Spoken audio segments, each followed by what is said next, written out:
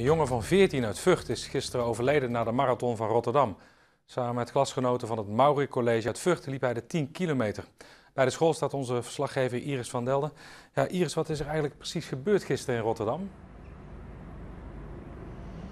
Gisteren is uh, Pieter de Jonge uit Vught uh, van start gegaan tijdens de 10 kilometer loop uh, tijdens de Rotterdamse marathon.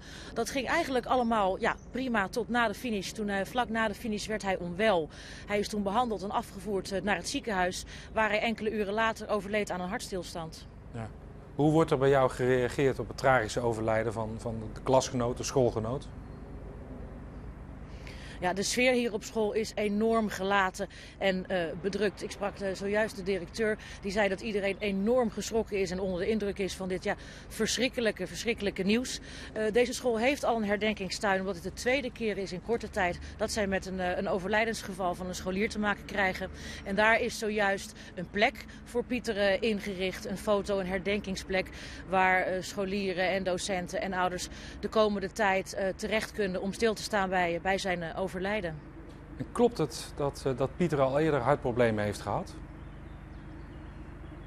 Ja, dat klopt. In september vorig jaar heeft hij tijdens een hockeytraining op zijn hockeyvereniging MOP in Vught ook al een hartstilstand gehad. Toen is hij per trauma, traumahelikopter ook afgevoerd naar het ziekenhuis, gereanimeerd en uiteindelijk enkele dagen in uh, kunstmatige coma gehouden. Daar is hij uit ontwaakt op een gegeven moment uh, en uiteindelijk weer gezond verklaard. Maar goed, hij had een verleden uh, van hartproblemen, maar toch is besloten om hem te laten deelnemen aan de 10 kilometer loop gisteren.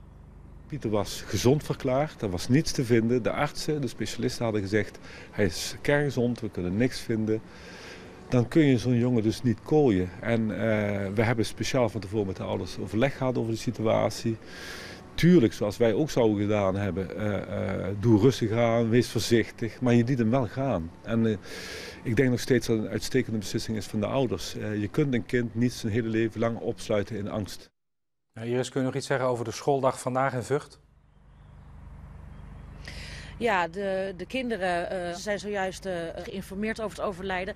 De medelopers van, uh, van Pieter worden de hele dag apart gehouden en begeleid om dit, dit verlies te verwerken. En verder is er natuurlijk de komende tijd, ook de hele week, de komende tijd, de gelegenheid om het condoleansregister hier te tekenen. Oké, okay, Iris van Delden in Vught, dankjewel voor je bijdrage.